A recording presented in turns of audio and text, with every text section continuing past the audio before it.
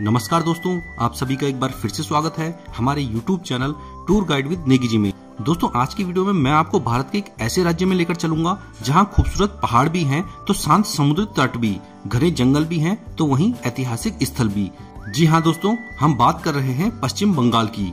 दोस्तों, पश्चिम बंगाल में एक से बढ़कर एक शानदार पर्यटक स्थल मौजूद हैं, जहाँ पर घूमने हर साल बड़ी संख्या में पर्यटक आते हैं। इसके अलावा यहाँ की संस्कृति खान पान लोक पर्व पहनावा और संगीत भी भारत में अपनी एक विशेष पहचान रखते हैं। तो चलिए फिर एक एक करके जानते हैं पश्चिम बंगाल के 10 सबसे प्रसिद्ध पर्यटक स्थलों के बारे में। तो दोस्तों, इस लिस्ट में सबसे पहले नंबर पर आता है कोलकाता। पश्चिम बंगाल की राजधानी कोलकाता अपने ऐतिहासिक, धार्मिक और खूबसूरत पर्यटक स्थलों के लिए जानी जाती है। दोस्तों, यहाँ का विक्टोरिया मेमोरियल एक भव्य इमारत है, जो कि ब्रिटिश शासनकाल के दौरान बनी एक सुंदर याद है। इसके अलावा आप यहाँ घूम सकते हैं दक्षिणेश्वर काली मंदिर में, जो कि माँ काली का एक प्रसिद्ध मंदिर है। इसके अलावा कोलकाता का हावड़ा ब्रिज भी देखने लायक जगह है। ये पूरा ब्रिज लोहे का बना है और अंग्रेज़ों के समय का बना ये पुल आज भी जस का तस खड़ा है। इसके अलावा अगर आप दुर्गा पूजा के समय कोलकाता में आते हैं तो आपको यहाँ पर एक अलग ही रंग देखने को मिलेगा। इसके बाद इस लिस्ट में अगले नंबर पर आता है दार्जिलिंग।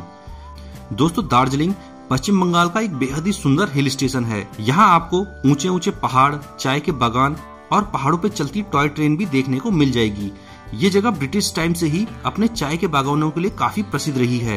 यहाँ पर घूमने फिरने के कई स्थान हैं और अगर आप टॉय ट्रेन से होते हुए यहाँ पर आते हैं तो आपकी यात्रा और भी यादगार बन जाएगी।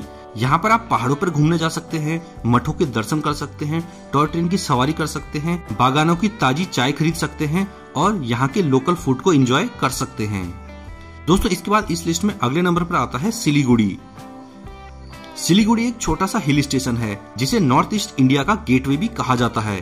अगर आप प्रकृति के बीच शांति और सुखद मौसम का अनुभव चाहते हैं तो सिलीगुड़ी बहुत ही अच्छी और खूबसूरत जगह है। यहाँ आप खूबसूरत पहाड़ियाँ, मंदिर और मठों को देख सकते हैं। सिलीगुड़ी भी पश्चिम बंगाल का एक फ़ेमस टूरिस्ट प्लेस है। इसके अलावा सिलीगुड़ी के पास आप जल्दापारा वन्य जीव अभ्यारण्य में भी घूम सकते हैं, जो कि रॉयल बंगाल टाइगर्स, हाथी, एक सिंह वाला गेंडा और हिरणों के लिए काफ़ी प्रसिद्ध है। इसके बाद इस लिस्ट में अगले नंबर पर आता है कलिम्पोंग। दोस्तों, कलिम्पोंग दार्जिलिंग से कुछ किलोमीटर दूर स्थित एक छोटा सा हिल स्टेशन है। ये जगह अपनी खूबसूरत घाटियों, बौद्ध मठों और तिब्बती हस्तशिल्प के लिए बेहद ही मशहूर है। ये जगह 1250 मीटर की ऊंचाई पर शिवालिक की पहाड़ी की तलहटी में स्थित है। पहले के समय में यहाँ पर भूटान के राजाओं का कब्जा था, लेकिन ब्रिटिशर्स ने बाद में इसे भारत में मिला लिया। लोग यहाँ भीड़ भाड़ से दूर, शांति और आराम के लिए आते हैं। यहाँ की ताजी हवा हरी भरी पहाड़ियाँ और खुशनुमा मौसम पर्यटकों को बेहद पसंद आता है। दोस्तों, इसके बाद अगले स्थान पर आता है सुंदरवन। अगर आप पश्चिम बंगाल में घूमने के लिए जाते हैं तो आपको सुंदरवन नेशनल पार्क ज़रूर जाना चाहिए। दोस्तों, सुंदरवन का ये इलाका दुनिया में सबसे बड़े मैग्रोव जंगलों के लिए जाना जाता है। और जो ये सुंदरवन नेशनल पार्क है, ये सुंदरवन डेल्टा का ही एक हिस्सा है। यहाँ पर रॉयल बंगाल टाइगर्स की सबसे बड़ी आबादी रहती है। इसके साथ ही आप यहाँ बड़ी संख्या में पक्षी और सरीसृपों को भी देख सकते हैं। इसे यूनेस्को की विश्व धरोहर सूची में भी शामिल किया गया है। इसके बाद इस लिस्ट में अगले नंबर पर आता है दीघा। दोस्तों, पश्चिम बंगाल में स्थित दीघा भी यहाँ का एक प्रसिद्ध पर्यटक स्थल है। ये जगह अपने समुद्र तटों और प्राकृतिक दृश्यों के लिए जानी जाती है। पश्चिम बंगाल के लोगों के लिए वीकेंड एंजॉय करने और फैमिली के साथ समय बिताने के लिए ये जगह बेस्ट मानी जाती है।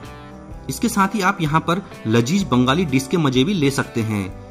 इसके अलावा दीघा के बीचेस पर सनसेट और सनराइज का नज़ारा भी देखने लायक होता है। दोस्तों, इसके बाद इस लिस्ट में अगले नंबर पर आता है मुर्शिदाबाद। दोस्तों, मुर्शिदाबाद शहर अपने आप में इतिहास की कई यादों को समेटे हुए है। यहाँ के भवन, महल और इमारतें देखने लायक हैं। यहाँ पर ज़्यादातर इमारतों का निर्माण मुगल काल के दौरान हुआ था।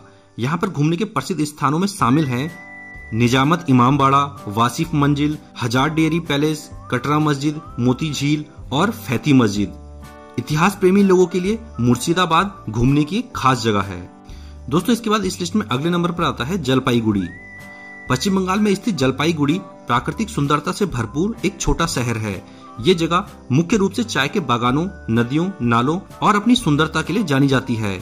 यहाँ के राष्ट्रीय उद्यान और प्राकृतिक नजारों को देखने हर साल बड़ी संख्या में पर्यटक यहाँ पर आते हैं। इसके बाद दोस्तों, इस लिस्ट में अगले नंबर पर आता है वीरभूम। दोस्तों, वीरभूम पश्चिम बंगाल का एक प्राचीन क्षेत्र है, जिस पर कई वीर राजाओं का शासन हुआ करता था। इसलिए इसका नाम वीरों की भूमि यानी वीरभूम पड़ा है। वीरभूम में आपको बंगाल की संस्कृति और सभ्यता की एक अलग ही झलक देखने को मिलेगी। यहाँ पर घूमने के प्रमुख स्थान हैं शांति निकेतन जहाँ पर रविंद्रनाथ टैगोर जी ने विश्व भारती विश्वविद्यालय की स्थापना की थी। इसके अलावा आप घूम सकते हैं शक्तिपीठ में, बरकेश्वर में और जयदेव केदुली में। और दोस्तों, इसके बाद पश्चिम बंगाल में घूमने का अगला स्थान आता है गंगा सागर गंगा सागर बंगाल की खाड़ी के पास स्थित एक छोटा सा द्वीप है। ये द्वीप पवित्र गंगा नदी और बंगाल की खाड़ी के संगम पर है। इस जगह माँ गंगा समुद्र में समा जाती है, इसलिए हिंदुओं के लिए ये जगह बेहद ही पवित्र है। यहाँ पर हर साल जनवरी में एक बहुत बड़ा मेला लगता है, जिसमें लाखों की संख्या में श्रद्धालु माँ गंगा में डुबकी लगाने यहाँ पर आते हैं। ये पश्चिम बंगाल में स्थित एक धार्मिक जगह है।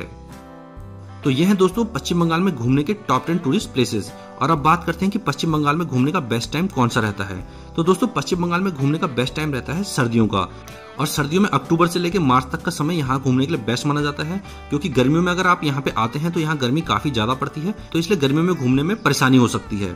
इसके अलावा अगर आप यहाँ के हिल स्टेशन पे आते हैं तो वहाँ पे आप साल भर में कभी भी आ सकते हैं, क्योंकि यहाँ के हिल स्टेशन में आपको मौसम हमेशा ही सुहाना मिलेगा। तो दोस्तों, आज का हमारा वीडियो आप लोगों को कैसा लगा, हमें कमेंट करके ज़रूर बताना। साथ में हमारी इस वीडियो को लाइक और हमारे चैनल को सब्सक्राइब करना बिल्कुल भी ना भूलें। दोस्तों, वीडियो में लास्ट तक बने रहने के लिए धन्यवाद। जय हिंद।